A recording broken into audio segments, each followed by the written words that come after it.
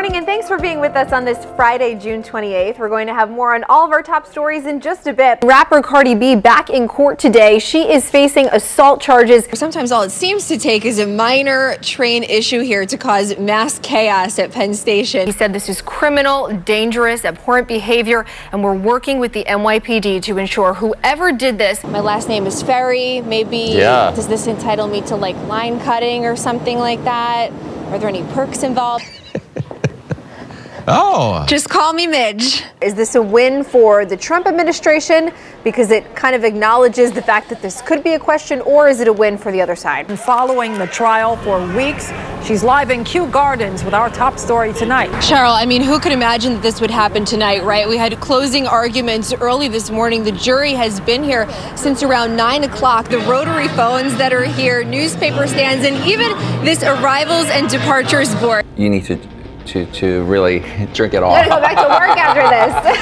Yes, I am down here with all of these revelers. How are we feeling, guys, tonight? Residual delays on BDQ and N trains still happening due to those trains' brakes being activated. Rama, the message here has been justice for Junior, and that has not changed one bit on this first day of trial. Filings for unemployment benefits unexpectedly rose last week. City and State magazine named Shannan Ferry one of the top 10 Queens people on the rise. You know, there has been this talk that he he's concerned about coming out as a political spectacle, but naturally, in its essence, this is a political spectacle. Right. I, I think what you hit the nail on the head, though. Your phone rings, you pick it up, you wonder who it is. Maybe it's a friend, maybe it's work. But no, it is indeed a scammer. The NYPD is working with the MTA to track down whoever's been pulling emergency brakes. So they're hoping once all of this is done, it's really going to alleviate the delays in this area. Governor, are you excited? We're live on New York One. How do you feel? I am, I am relieved. A new study suggests a lot of cyclists in Manhattan are not stopping at red lights. Kept incredible composure. She was up there on the stand for 30, 40 minutes as she was testifying. Of course, it's significant because in the original trial, she did not testify at all. It happened near the 23rd Street stop along the F line just around 9:30, a very busy time of the morning. They pour into the Cross Island Parkway as well. Whitestone Bridge, a much better option if you're looking for that. We see e-bikes pretty often, right? In fact, the council members here you mentioned, they estimate about 50,000 of them are already in the city. New York is the best city apparently to celebrate Easter Sunday. And as you're walking through the haunted house, there are students watching you, following your every move through surveillance video. Meteorologist Sally Ann Mosey joining us now with a closer look at the forecast. Okay, so I checked out your checklist. Oh, good. Sunglasses. That's your New York One Rail and Road Report. I'm Shannan Ferry. I'll be back here in about 30 minutes with more traffic.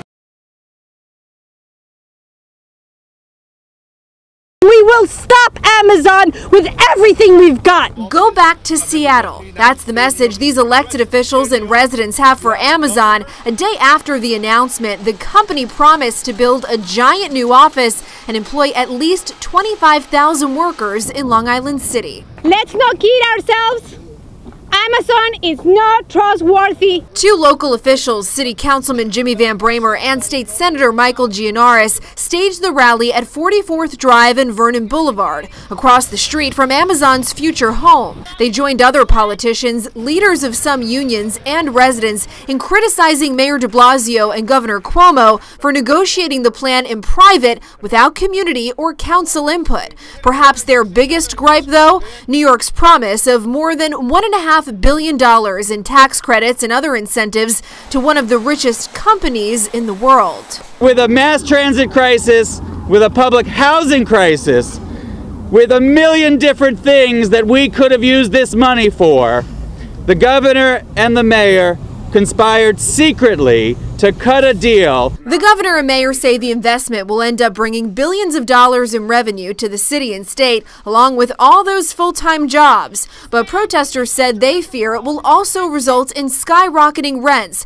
forcing longtime residents out. They say they should have been consulted during the 14 months the mayor and governor wooed the retail giant, which weighed competing offers from more than 200 cities. Think about how crazy this is. A private company forced the government to sign a secrecy agreement and not tell its own people what it was doing with its money. So what comes next? Well, elected officials say they plan to continue protesting this deal and they won't hesitate to take legal action if necessary. But it's not clear if they have the power to stop the development. The deal was structured so that it does not need city council approval. In Long Island City, Shannan Ferry, New York 1. Anastasia Somoza is used to making waves. She made national news when she was nine. So you just want your sister to have a chance? Yes. Asking President Bill Clinton why her twin sister Alba, who has a more severe form of cerebral palsy than she has, wasn't allowed to be in a mainstream classroom. I have to look at my calendar. This is Somoza now, as the City Council's first liaison to the disability community, appointed by Speaker Corey Johnson. Even though we're the largest minority, we're also still the most unseen and unheard. She already has begun staking out priorities. Thank you. For one, making the subways more accessible. Less than a quarter of the stations have elevators. My needs aren't special, my needs are human needs, just like yours. Somoza was born in Manhattan with spastic quadriplegia, a form of cerebral palsy limiting use of her limbs. Her activism comes naturally. She and her parents are used to fighting for equal treatment. I see my role as being the connector between disabled New Yorkers and the work that we do here. Somoza graduated from Georgetown University. Her work with the Clinton Global Initiative led to a role at the last Democratic National Convention where she criticized Donald Trump's treatment of a disabled reporter. Donald Trump doesn't see me. He doesn't hear me. Somoza says she jumped at the chance to work on local issues in City Hall. After all, New York is her home.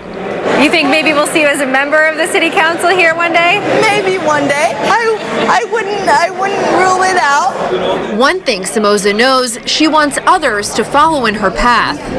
I am the first, but I by no means should be the last. She draws inspiration from this sticker on her desk. Disability rights are civil rights, it says. I look at it and smile, and it reminds me of why I'm working so hard to change things. In Manhattan, Shannan Ferry, New York 1.